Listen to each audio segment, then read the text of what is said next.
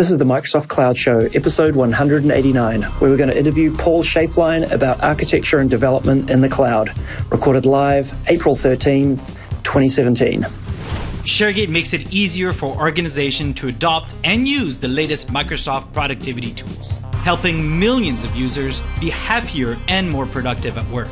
ShareGate is trusted by over 10,000 IT admins from over 110 countries to manage, migrate, and secure their SharePoint and Office 5 environments. ShareGate is recognized as the must have tool for day to day administration of on premises, cloud, and hybrid environments. Interested in learning more? Check us out at sharegate.com to learn how ShareGate can make you more productive.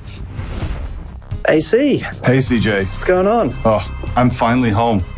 You've been away a while. Where did you go and where did you end up? Uh, it's been a very long two weeks. I let's see, started. I started about two, a little over two weeks ago, and I flew out to Seattle for the um, for a Microsoft SharePoint Developer Kitchen or Dev Kitchen, and that's where they kind of bring they bring people in to see where they're going and get a lot of feedback, real rough and early bits and stuff to see what stuff is coming. And we were specifically, most of it was about SharePoint framework stuff. So it's pretty cool. I was actually there with who we're going to be interviewing today. But that was the first one. I did that from, I guess, a Tuesday or Wednesday through a Saturday, and then flew to Austin, Texas at, for the SP TechCon conference, uh, where I was there for about Oh, I think I'm- I'm going. Well, I was only supposed to be there for about four days. Ended up being there for a lot longer because I got stuck in the whole mess of uh, the Delta meltdown that happened. Where I tried to get home, tried to fly home on Wednesday of last week, and then uh, fly back out on Saturday for a conference I was at earlier this week, and that didn't go as planned had multiple cancellations of flights and then finally went got to Vegas this past weekend was in Vegas for a little conference called MicroConf for entrepreneurs and startups and marketing and stuff and finally got home yesterday and after my nice 15 day trip I got the uh, classic Las Vegas I'm not a smoker, but apparently I need a pack of Marlboro Reds to uh, bring it, bring me down from my nicotine high for the last week. Yeah. And the uh, You're going cold turkey? yeah, yeah, and freezing cold air conditioning and oh so Oh, nice. I'm finally home. I feel for you. Well, glad glad to hear you made it back. yeah, made it back. How about you? What you been up to? Uh, quite a bit. Yeah, we've been pretty pretty smashed. Uh, we got a big release out this week for Hyperfish. We're recording this on Thursday and Tuesday. I'd sort of penciled in as an all nighter getting this release out. Fortunately, it didn't go that long, but um, yeah, we put out a big release on Tuesday night around some new features that we've been working on for the last couple of months. So really nice to take a deep breath after that. Everything kind of went smoothly. A couple of little wrinkles, but nothing serious. And um, yeah, nice to take a deep breath after a couple of months of really crazy, crazy work and getting this out. So um, we're really excited about seeing the back of that Yeah. and it, getting it out into customers' hands. It's, it's yeah, it's very satisfying to have to ship. So I'm pleased we did. Yeah, you, I know we talked a little bit earlier today about all your uh, the experience of and how how much of an impact it was in the rollout you guys had. It was uh, definitely if if I was in charge of that release, I would have definitely had the pucker factor going on Tuesday night, being quite nervous about how significant of an update you guys ran. Yeah, we did. We decided to lump a lot of things in. Right, we did database upgrades during it. We did all sorts of things. So normally we we release every week uh, to production, if not more quickly. This was just a big one, right? So yeah, pucker factor increases for sure. nice. Welcome to the cloud. Yes. Yeah, exactly. yeah. So today on the show, we are lucky enough to have a special guest, Paul Schaeflein, who has been very kind enough to uh, to join us on the show, and we're going to talk to him about architecture and development in the cloud. But uh, before we do that, we just want to break for a moment to hear from one of our fantastic sponsors. The Microsoft Cloud Show is sponsored by Valid.nl. Valid's motto is Stay Ahead. Its mission is to enable its customers to excel in their business through the innovative use of IT. Valid is always on the lookout for new colleagues. If you're interested in all things happening in Azure, whether in infrastructure, SQL Server, Office 365, Power BI, SharePoint, or .NET, look them up on valid.nl. All right, welcome back. So, Paul Schaeflein is a solution architect and developer with experience in all versions of SharePoint platform. He has more than three decades of experience in architecting, designing, and developing software solutions, and this experience covers a vast array of technologies, languages, and industries. He's a top-rated speaker, having presented at SharePoint Evolutions, SharePoint Evolutions Roadshow, the SharePoint Conference, TechEd, and numerous user groups. And in recognition of his seriously awesomeness. He's been awarded Microsoft Most Valuable Professional six times. And uh, welcome to the show, Paul Schaeflein. Well, thank you. It's a little different when you hear that read back to you. Thanks for doing that. Sounds a bit different with a Kiwi accent. Yeah, well, huh? I love it though. Sounds much, Kiwi. much better. Sounds like I thought it was Indian. yeah, yeah, pretty much, pretty much. So yeah, thanks for coming on the show. We're really uh, pleased to get you on the Cloud Show, and um, yeah, thanks for joining us on your afternoon. I take it where you are. Where are you, by the way? I am in Chicago, home of the Chicago Blackhawks. Excellent. Oh, very Yes. nice. First game tonight. I um, I believe, I believe I have a uh, a special gift that I will take a screenshot of shortly and post as part of the blog post for this uh, this podcast that Paul very uh, nicely left for me when uh, he visited Hyperfish HQ a couple of weeks ago. So um, yeah, but again, welcome to the show. Thank you. So today we want to talk to you about cloud development and, and specifically building solutions in a cloud world. You know, the, as longtime listeners of the show will attest to, we talk a bunch about cloudy stuff, but sometimes we talk about on-premi stuff. And we felt like it would be a really good opportunity to talk to somebody who's in the thick of it day to day on building and architecting solutions for the cloud, but has deep roots in building and architecting solutions for on premises. And what better person to talk to about that than you and discuss kind of some of the ins and outs and issues and common things you see people face as they sort of transition in this world from being able to do anything on their IIS box under their desk at work to building stuff for the cloud. So, um, I guess why don't you kick things off with telling us a little bit more about yourself and then some of the projects and things that you've been working on, you know, only as far as you can go with those, but just to give us a sort of a sense for the kinds of issues and, and things you think people face and when they're thinking about this stuff. Yeah, certainly. So there's a couple different ways to to look at this, and and obviously with uh, the adoption of Office 365 ramping up in, in cloud in general, right? Seeing a lot of people who are moving to the cloud, but it's never a turn it off and then turn it on over there, right? As much as people would love to just have a, you know, go to home on Friday wish. on prem and come in on Monday, be in the cloud. It doesn't work that way, right? And so uh, um, the world of hybrid is is where to go, and somewhere so I heard someone say hybrid is the new normal, right? So while there's a lot to, to be considered for end users and IT pros in that world too, but developers too, right? I can't I can't just run my code wherever I want, or even if I do, I need to understand that I might need to reach out somewhere else. So um, it certainly has been an eye opener and for some people, and and it, you get some struggles um, in a lot of different areas as well. So I've been helping clients do that lately, both on prem development stuff and and obviously Office 365 uh, migrations. But then what do I do? I have all kinds of code that either runs in SharePoint, which we, we know that that story is, is, is well told, but maybe I have a BCS connection to something on prem, or maybe I have some, some other system running in a manufacturing plant that I need to aggregate data from. And somehow, some way I need to figure out a way to get this in front of my users and my users aren't where I can control them, you know, from start to finish anymore. They, they could be floating out in a browser somewhere. So, I see that's a common pattern, and the way that we would solve these problems today is different than what we used to. So that's uh, I think we might have some, a story we can tell here.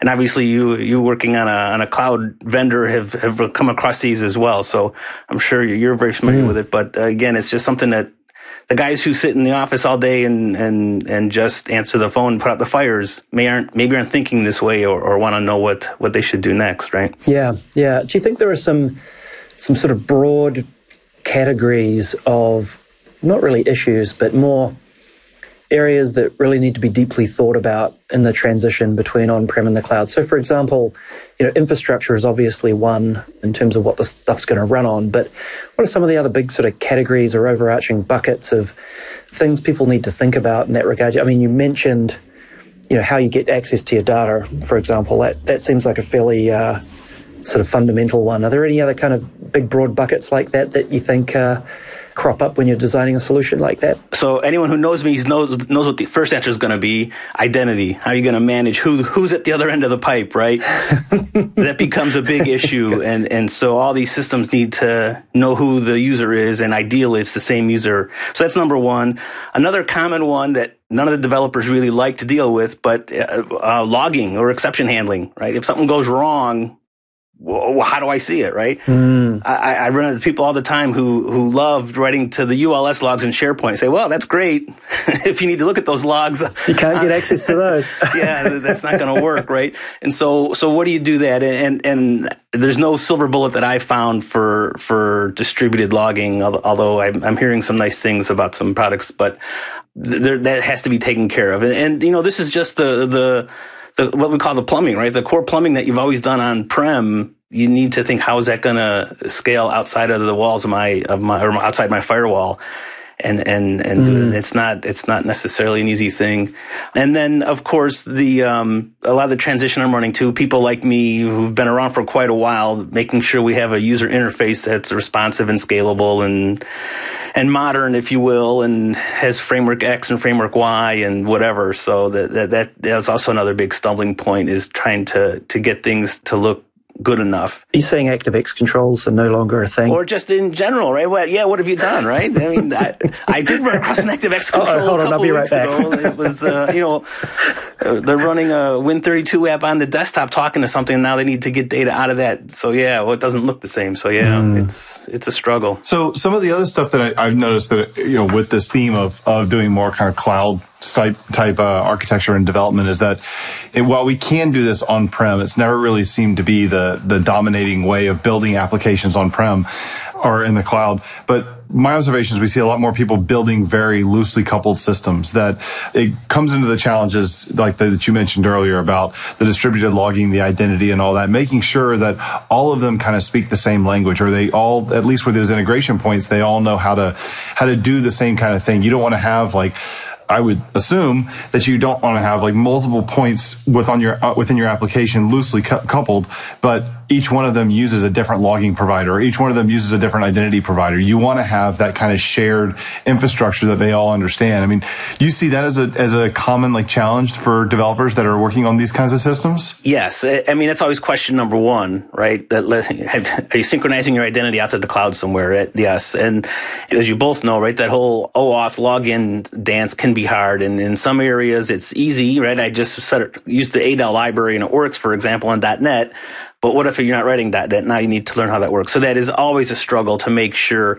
And as you mentioned, the different identity providers, just as a background on that, right? So, for example, if in SharePoint, we saw this in SharePoint 2010 initially, right? If I log in using Windows NT, my identity provider is my domain controller. But if I log in with an external identity provider using SAML or claims, the identity provider is not your local NT domain. So the application thinks that's two different people. So even though it's the same person, it's looks like two different identities. And so that is a big discussion that I, I, like to have early, as soon as possible, and figure out what's happening here because uh, almost every organization that is of a decent size has got these types of systems in place, and they may not have considered it to be a big deal because I can log into my domain for this and I can log into the browser for that. And, but now when you want them to talk to each other, that's where it gets to be a struggle. So yeah, that certainly is, uh, the number one thing to look at and make sure it's getting right. And you can't, developers can't do that on their own, right? Yeah. And in fact, I used to argue developers shouldn't be doing that, right? Who, who, who's, who's better at securing your identities? You know, some guy who can sling code around or somebody who does that for a living, right? So and it's funny you say that. I know that you and I have worked on a project together where we kind of watched where someone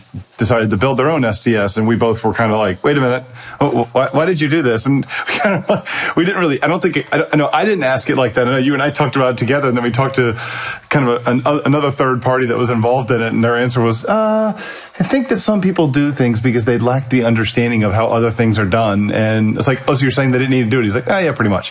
but, um, you, I mean, I know one of the things that, that Microsoft has to offer around that, and we've talked a little bit about it on the show, or a good bit about it on the show with Azure Active Directory. They have the, uh, would you call it new? I mean, the, the business to business, the B2B capability or the B2C capability where you can leverage that for your own applications, not only just for the identity, but between different organizations. So B2B is quote new at GA uh, this week, or maybe at the end of last week, right? So um, hmm. that certainly is something and, and, and can help again, these for those who don't know, the, the B2B service is designed for business to business, and the idea here is that uh, I have an Azure Active Directory, and CJ has an Azure Active Directory, and AC has one, but so we each log in with different different directories, right? So we're, we're probably not the same identity provider because of the different tenancies. But if I want them to access resources in my tenant, so to speak, I can I can configure my, the Azure AD to say even though the the identity provider is CJ's tenant, they're still allowed to come into into my resources, and I can. I can get a SID, if you will, for those of you old timers, right? I get it that's in mm-hmm. my directory securing my resource, even though the person who logs in comes from somewhere else. So the, yeah, that's new. And, and the, conversely, the B2C is for business to consumer. And that's really letting people log in using their Facebook or Gmail accounts or Twitter accounts, OAuth, if you will. And then I, again, hmm. it, that gives them a unique identifier in my tenant that I can then use to make authorization decisions for secured resources. So those help. But um, if I'm working on something on prem and I want to connect to Office 365, I'm not going to use either one of those two technologies. And most likely, I would be synchronizing to my own directory. So those, uh, while those those further muddy the waters, if you will, right? So it's really kind of the discussion to say, well, what systems are talking to each other and, and who secures them?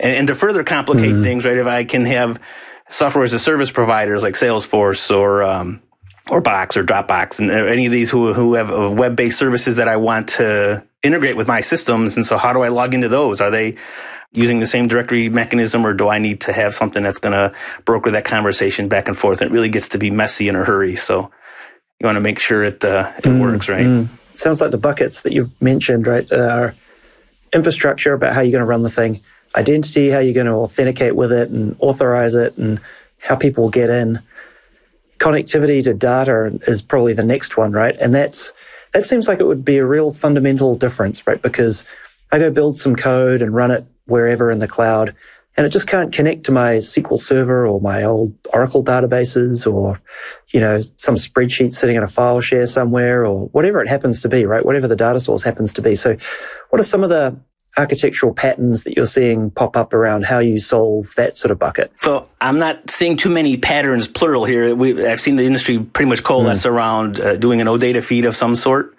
either using mm. built-in libraries or rolling their own. But at the end of the day, we're putting a web service around it. And that can be mm. web API. It can be uh, any server-side code exposing it. SQL Server has some built-in tools that'll generate an OData feed if, if you trust that. But again, this kind of Uh, well, a couple things to keep in mind here, right? So number one, just because I put something, a web service around it and I expose that web service through the firewall in port 443, who am I going to let access those web services, right? Probably mm-hmm. not everybody mm-hmm. in the internet. So now how do I secure those? And then we're right back to step one, right? What's your identity provider and how are you going to secure those web services? Yeah, gotcha. And there is a, a standard now that has, has, has come out called, um, Swagger. For those long timers, we've had a WSDL, if you're a web services description language, which is the XML version. But uh, Swagger is a, a, a JSON document that describes your web services and the, the data types or shapes, the classes, if you will, for inputs and outputs and the methods that can be called and their security requirements and so on. And so most of the cloud services, especially in the Microsoft world, either Flow or Nintex or Power Apps can read these uh, documents, these Swagger documents to understand your web services. And so that's the key takeaway for many mm. people is, hey, people have been talking about service oriented architecture for a long, long time right? And so now we're actually seeing how this works because if you have a service and you can secure your service and you can describe your service, well, then other people know how to call your service, even though you may not control both ends of the of that call. So that certainly is a uh, the way that we're seeing that I'm seeing the industry go here. Gotcha. Yeah. So I, I know you mentioned uh, Flow and and Power Apps a minute ago. I want to come back to that in a minute, but I wanted I wanted to kind of revisit something else that we were talking about a minute ago. We were we talked about the different like shared services that we have. And we're not talking shared services like old school SharePoint shared services, but like the shared services like logging and identity and stuff. How, what about, you know, there's going to be times when an application has its own settings that it needs to share that are separate from like identity or with these other providers. And it's just something that you need to, like maybe for a tenant, needs to be able to share these across the entire organization. You know, how do you how do you do how do you handle like that idea, that concept of like sharing like for a service sharing the different uh, settings across all the all the the places where you've implemented that service. Again this gets down to just data right? And there's a lot of considerations there whether it's some if it's an on-prem service and it has a database and i can put data in there that's great. If it's something that needs to transition across services right? Now we're looking at cloud storage of some sort which gets us right back to the same issues right? It's yet another external service. And so I found ta- Azure Table Storage to be great, or even a Document DB type thing, where it's it's kind of again talking to long time in-house developers. They have relational databases on the brain, and that's another point of conversation. Say, you know, if all you're storing is 17 items about the current user, I don't need to put that in a table, right? Maybe I can store that somewhere else. Mm. And, and a little JSON document stored tucked away somewhere is pretty helpful. So that works.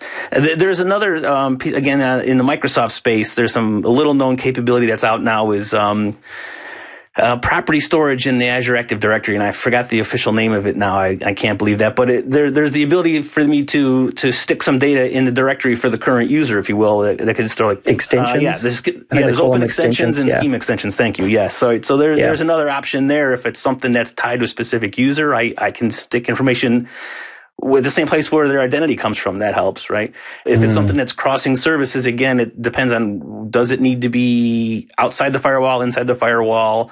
What's the best approach? And so, um, with thinking along the lines that I'm not making a ADO.NET type call or I'm not making some kind of big de- collection of records back and forth. I'm doing an HTTP request. And so what does that packet, what does that payload look like and how do I make it small and, and where's a good place to put it? So. Yeah, gotcha. On that previous comment you made about web services and wrapping data sources and things like that and exposing them. Do You see people, do you see anybody sort of short circuiting that by doing things like site to site VPNs into Azure and stuff like that to kind of go, oh, I mean, what's their hesitation? I imagine the security guys like all over that, like the proverbial on a blanket, right? Like, I bet he's like, no way are we sticking thing holes in our firewalls and data access to potentially sensitive product information or, or proprietary organization information in a web service exposed on the internet. Are they, is anybody trying to circumvent that or sort of short circuit it by doing things like site to site VPNs into where their code runs up in up in Azure and, and so forth? I've seen that again, depending on on the industry and and and the customer. Exactly right. So if I'm running an uh, infrastructure as a service, then that makes perfect sense, right? You can do a VPN from your data center to Microsoft's data center and get that stuff kind of in there. But again, it kind of depends on what the application you're running. If I need to integrate with Salesforce, mm. can I mm. do a VPN to Salesforce? I'm not sure that's going to work, right? And even yeah. a VPN to Office 365, and I'm not so sure is 100% there. So those are all concerns. But it, what I'm finding generally is most information security departments are mostly okay with, uh, you know, HTTPS or TLS mm. connection across things and making sure that they have updated certificates. So, except for the super sensitive people, and they probably aren't moving everything to the cloud anyway. So some of their systems are still on, you know, on their on their own network. Yeah, gotcha. So that's less of an issue. But most most of them, I think, are pretty okay with doing uh, secure calls over the internet. Hey, before we move on, let's take a brief break to chat to one of our great sponsors. While many IT teams struggle with the impact of deploying Office 365 Zscaler customers are experiencing 40% or greater network performance across file download times, as well as TCP and DNS connection times, compared to using next gen firewalls and UTMs to route Office 365 traffic locally to the internet. While you may know Zscaler is a leader in cloud security, they also have hundreds of customers who are processing over 1.2 petabytes of Office 365 traffic monthly through the Zscaler cloud. Visit www.zscaler.com to learn more. Okay, Paul, you a couple minutes ago we talked we touched a little bit on flow and power apps. In the past, CJ and I have sat down with Laura Rogers to talk a little bit about flow and power apps. You know, I know that we have, and we talked a little bit about with uh, Ryan Duguid as well in, in a recent episode you know, I know that we, when you're building a big application or a big system, there's inevitably you're going to have some sort of a process or like a process you want to be able to instrument that's going to have multiple inputs or maybe it's got to, you know, run for a little bit and wait for some additional input and then continue on. You know, in the past we've done this. I'm sure a lot of our listeners are familiar with SharePoint. And so in the past we've used SharePoint's workflow capabilities or the things that SharePoint relies on to do workflow or maybe look to an outside service. And, you know, lately we've seen in the last year or so, Microsoft come out with a new service called uh, Flow, where it's kind of replacing, at least in my mind, it's replacing what we used to do with workflow inside of SharePoint. Have you spent much time with Flow and like so far? And if, if so, I mean, what do you, what's your impression of Microsoft Flow? It's a necessary evil. It's terrific tool for those who don't necessarily write code like I do, right? So I, I don't use it a lot, but I have poked around with the service to see what's there. And here's where it kind of fits into this new hybrid world, if you will, right? So I had a, a, customer say, well, they're dealing with external sharing in SharePoint. And that's a whole nother show that we could do if you wanted to, but, but they wanted to do some approvals around that, right? Well, who wants to write code to do approvals, right? I mean, I'll take your money if you want to pay me to do hmm. that, but that's really kind of a known, a known commodity, right? And so because it's one of again a different way to think about things. Well, there's a service in the cloud, two of them, right, that we know of that can that can do approvals. So why not integrate those, right? And so in this scenario where they wanted to do external sharing, was you say, well, you're in SharePoint, so let's create a list and add an item to the list, and we'll run a flow.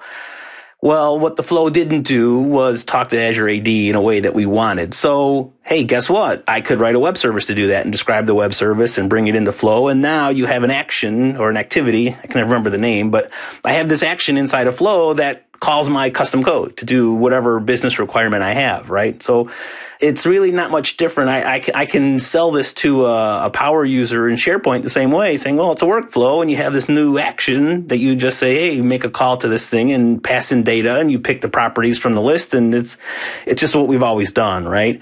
And I can talk to the developers and say, you know what, you're just writing a web service, you know, load up a web API, deploy it to Azure, describe it with this document and everyone, everyone's happy that all works, right? So I think I'll probably change my perception of flow just because I I can see it being a great way to instrument or broker the calls between these various services, and, and right is that what work, workflow is doing, right? And even in I, I listened to the talk with Ryan, and that was with their cloud service, and that was that was one of the things. Hey, yeah, I can see their their approach. I like that approach on how to how to integrate with these systems, and and I can play in that party. So why, why would I not want to do that, right? The classic developer answer, right, is like. Why would I want to use it? To, I'm sure I could build one better. yeah, I probably could, but is it the right choice, right? yeah, exactly. I think one of the one of the key things there is being able to integrate with other things, right? So if, if you use a tool like that, it sounds like out of the box you get some connectors to different things, but you know, some of those connectors could be your own little microservices that do additional bits and pieces. Yeah, exactly. There's a microservice approach, right? It's been around for a long time, and I'm sure there's more formal ways to do that. But here's another what I call a microservice approach that that I found helpful is that um, so back in the day when SharePoint add-ins were first released, right, you, you would end up registering them in your tenant and it would be secured with certificate. And those certificates expired in two years. And I don't know anybody who remembered that until two years and one day later when they stopped working. And so yep. the patterns. I do remember a lot of people that were affected by it. yes. Right. And so the patterns and practices group, they wrote this little tenant information portal website that you could load up and give it permission to your tenant and it would go and inspect your directory and say, Hey, here's all the, the principals that are going to expire in the next 90 days. You should probably think about those, right? So where does microservices come in? I wrote a little web job that's going to go through and just query those every day and, and make a, a call through the Office 365 connector framework to put open a conversation in a group or a team that says, Hey, this thing's going to expire in 30 days. So mm. I view that as a microservice. It's a little bitty piece of code that wakes up once a day, makes a call to the directory with an if statement and makes a second call to the service and it's done, right? And, and now my administrators group can handle, right? If you like things in your inbox, you can register with a group and subscribe to the group and you get an email. If you want to have your chat window pop up in Teams, you can certainly do that. And, and again, it's just another little way to connect all these systems together, trying to get in front of users who are busy doing whatever it is they, they do for a living, right? Yeah, gotcha. Let software do the work of the stuff that, you know, that you have to do the repetitive stuff. I mean, that makes it a lot easier than you having to remember, you know, oh, this certificate's about to expire or this, you know, it's only got a certain timeline on it and then our time frame on it. Let the software do the work that's really just an automated task that doesn't need to be, you know, someone doesn't need to put a little post-it note on their, on their machine to say, don't forget to do this. Of course, they're on vacation, post-it notes closed in the laptop they're going to miss it. Yeah, right, exactly. And if you think about when I'm I'm trying to make calls across systems, you always have that uh, the, the response problem I used to call it, right? So if I was if I was doing VB or C++ plus or something, I, I get an exit code of zero, which was good, right? And then we, we all have all kinds of return true or return false. I remember that whole discussion way back in the day. Well, nowadays it's HTTP status, right? I, I doing some work and I make a call, and if it comes back 200, I'm done. If it doesn't, I know what to do next, right? So think about again, I'm just building on on the shoulders of people who've gone before me, and this is a, a common a common, well understood discussion or, or, language, if you will, right? I, I can I can do retries if I need to because I get a status code that makes sense. And speaking of status codes, I got a status code zero from the graph the other day. Try to make that out. I don't even. I got HTTP status code zero. Was it the first, second, or third digit? it's just one digit. Oh, that's not good. Just just zero. Yeah. Just by There's no way. There's w- no Wikipedia has no entry for yeah. that. I'm looking at it right now. There's no way. yeah. No, exactly. I didn't think it. Was, I didn't think it was real anyway. But anyway, sorry, sorry. To you know, Paul, you, you, what you were just mentioning to me, that's like that's exactly what something I'm going through right now. We were joking around before the show that I'm sitting here trying with the head cold, trying to do some figure out some complex JavaScript to basically synchronize three systems together. Uh, because I don't have access to the to the server side of any of them. All I can do is client side. So they all load. They all have their own little widget that that pops up in the page, and I'm trying to add my extra widget that runs after them one of them, you got to go grab some stuff and go update data in one system, but then you got to make sure that it's also updated somewhere else based on the response you get back. And then the third one is the infuriating one, which I say it's got a little event where, hey, let me know when everything is done or when you've gotten the data back so that you can go do, you know, the next step in the chain. But of course, it gets all the data except for one other things, uh, one of the other things, which is a getting their key. So it's let's get all the data, and then I got it tells me you have all the data, but then I go get one thing, and it's like yeah, that thing's not there yet. So I have to do like this little loop of waiting, like wait till that guy gets his data. All that stuff is just such a pain, and it's I mean, mm. it's I like this model that we're living in more with the cloud kind of hybrid. Every all the systems are dis, are much more disconnected. They're not or they're are loosely connected. They're not um, tightly coupled, and you're everything is much more asynchronous. And so you're doing things with like promises or callbacks.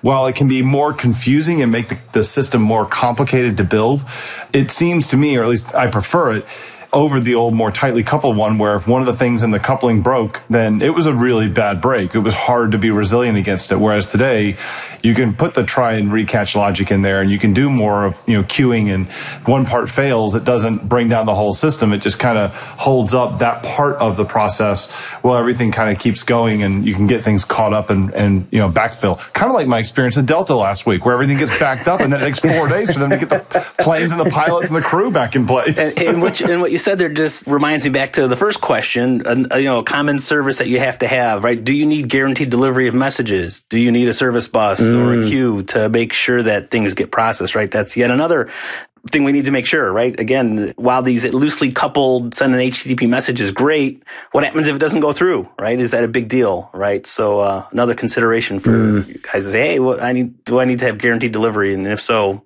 what's the best way to do that? Yeah, they do that with uh, the, all the, the webhook stuff now that, you know, we're instead of using, like in SharePoint, we had, you know, event receivers, we had remote event receivers, and we had to, you know, make sure our system was up and running and it was good. I mean, I, I like the way now where we, we have, uh, webhooks where we write something that's going to be, that's going to, same concept. We're still going to get a post coming to us.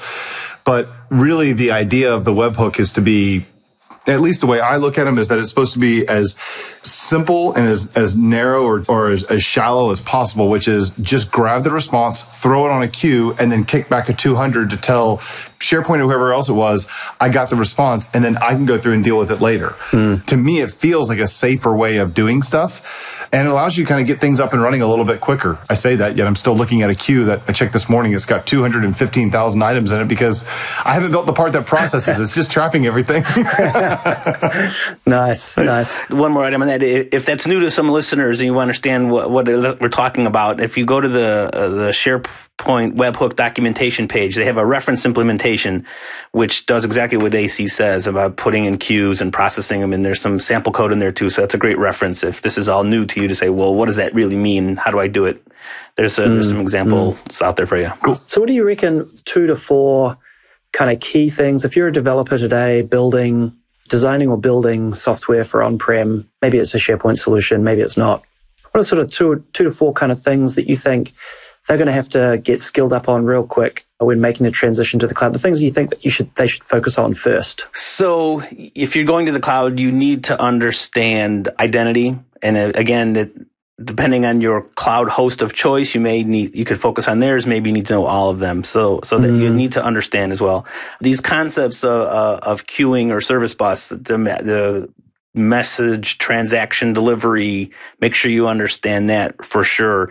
You're going to have to understand web technologies, which is more than just HTML and JavaScript, right? So uh, it's, it's quite, it's quite obvious that you'll you'll be doing some server side code. So, are you going to use run an IIS? Are you going to run a Node? you're going to self host using .NET Core? Whatever the case may be, there's a lot of choices there. So you need to understand what's a best way to be doing the server side component of those of that kind of not, mm, not just the mm. not just the client side there as well and then again data storage right it's not just rows and columns in a table anymore there's many different choices and some may be better for what you're trying to accomplish and it's worth looking into at least what those are so off the top of my head those are the first four things i'd say hey start start reading up or, or learning or playing around with these types of things nice. what are you going to throw you have any you want to throw on that list too cj I'm, i got a, i got one or two i'd like to do to throw in there as well oh Go for it. Yeah. So it. I think another thing, I mean, I agree with everything that Paul said. I, I would put those probably at the top. And if you're doing any of this style of dev, it's more often than not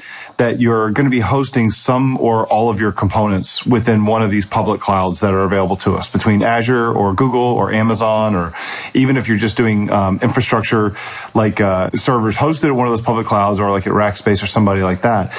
I think it, it would behoove developers to at least have an idea of what the different services provide so that you know what's available to you. For instance, don't go dive in and go build a lot of stuff that a lot of these, you know, they call them platform as a service, but there's a lot of these different things that are available to you that you don't have to build and have to deal with. I mean, you don't have to install your own mm. version of SQL or Oracle or Postgre or whatever you want to use for your data storage, or you don't have to go build a workflow system or have to go build a queuing system. There are tons and tons of resources, offerings that are out there. Some of them are native to these different cloud providers. Some of them are not exactly native, but they're more like they're still installable software, but they're managed by someone else for you in one of these public clouds.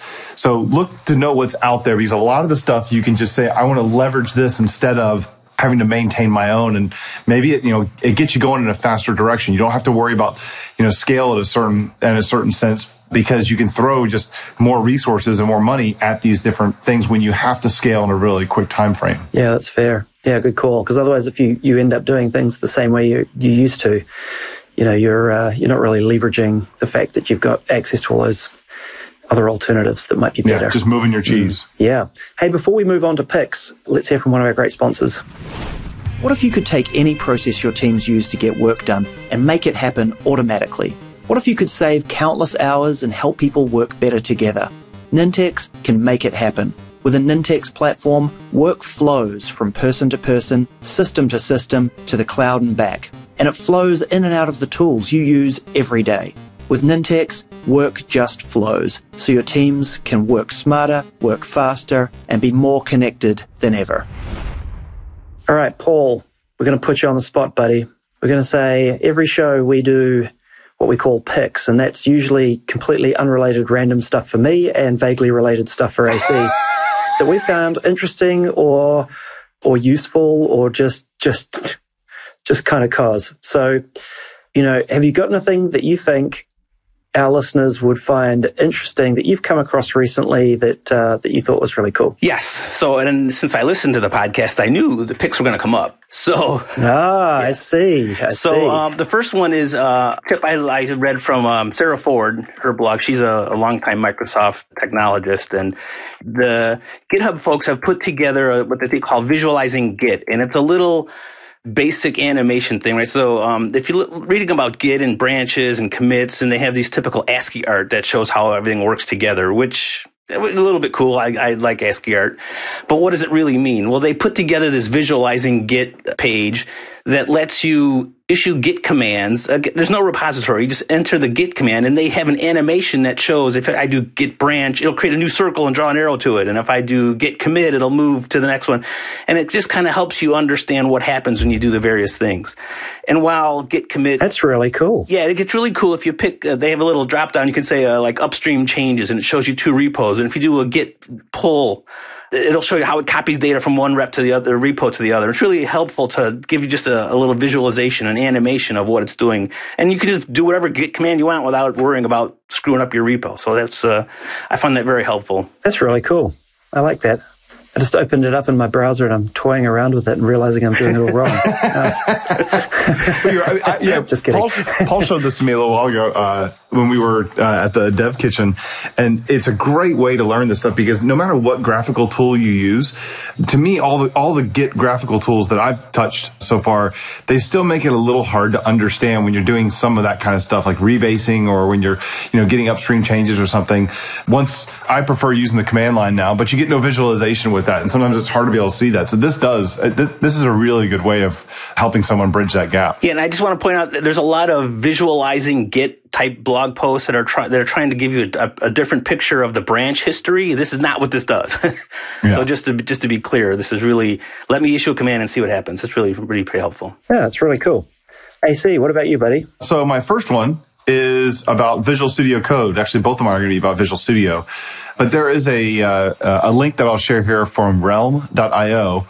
Uh, it's by a guy uh, named Alex Dima, who is on the Visual Studio Code team and has done a talk at a conference, actually a conference I'm going to be at in a couple weeks on at the, the GoTo conference. This is from his post. He did a video of it last year at the conference. So the video is up on the blog post that I'll I'll mention. But the um, the title of the post is Visual Studio Code shipping one of the largest Microsoft JavaScript apps, and it was posted earlier earlier in April. And it really goes about explaining, you know, how they used TypeScript to go build Visual Studio Code and how they were using JavaScript and how the challenge of what JavaScript was played, how the code makes it a lot easier using TypeScript. So I found it to be really interesting to see a, a real, uh, real world story of how this was done. Again, the blog post is from April 2017, but there's a link to a presentation that he did that's similar to what he did, but it's about a year old. So I'll make sure I put that in the, the show notes as well. Very cool. Very cool. How about you? I got a pretty cool one. It's called Sense as in to sense something. It's a smart home monitor that you wire into your power panel. I guess is that the right word? Is that the is that the US terminology? Fuse box. You know, the ter- fuse yeah. box. Is it? Yeah, gotcha. Fuse box. Yeah, cool. Where the power comes into your house, right? And basically, you do two things. You clip these little monitors around your your incoming lines from the mains, like from outside your house. Clip on these two little adapters around the around those wires and they plug into this little box. Then you plug in some, you wire the box into one of your fuses on the house side of the circuit. And this thing has Wi Fi, so it connects up to your Wi Fi and connects to the internet. And it basically watches and monitors all the usage of power going on around your house.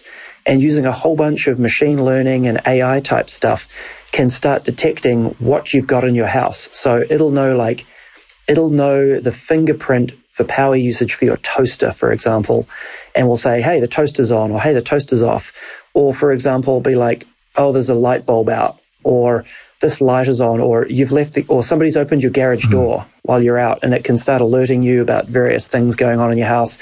Obviously, tells you about energy usage in your home, what's you know what's sucking usage, what's on and off, and all that sort of stuff. So that's pretty cool. I thought, like, kind of means that you don't need to put sensors on all of your things in your house to know what they're up to. That's very cool. Yeah, I looked, I so saw that, something, I saw that, and uh, when, as a, somebody who's got a solar panels, it's always it's been hard to tell what's using, you know, what days I'm using more power than other days because if the if it's overcast outside, I'm not going to get nearly as much uh, power generation from my array, and so you still can't still can't tell where it's coming. It, this thing looks pretty cool. Yeah, it's kind of like reading the power fingerprints of all the things in your house. And they've obviously know the power fingerprints for a bunch of different devices.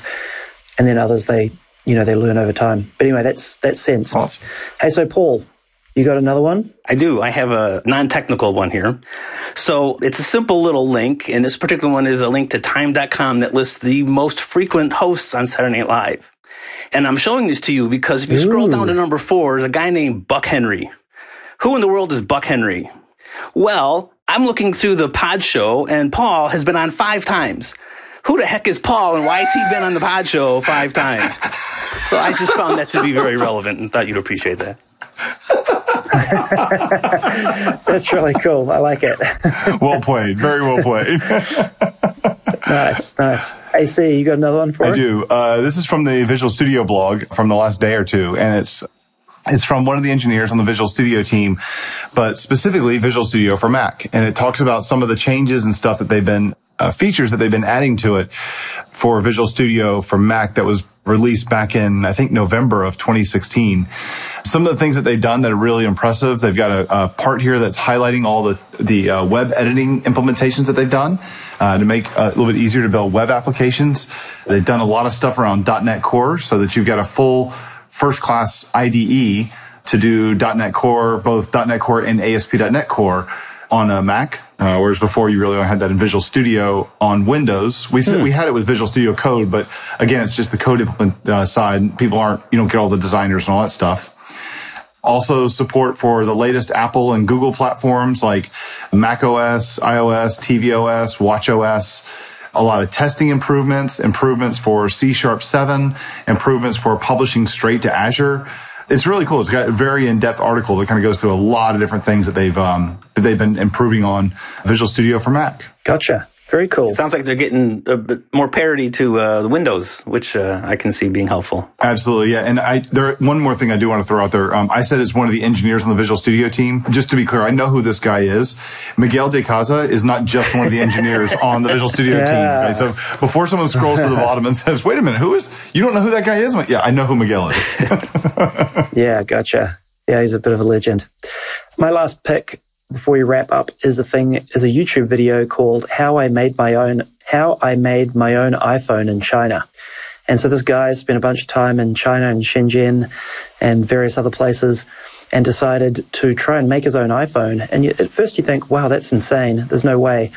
And then you watch how he does it, and it's pretty impressive. So he basically goes to all the cell phone markets in Shenzhen and, and areas like that and goes and buys all of the parts to make an iPhone. So, like the case, for example, the battery, the logic board, the camera, all this sort of stuff.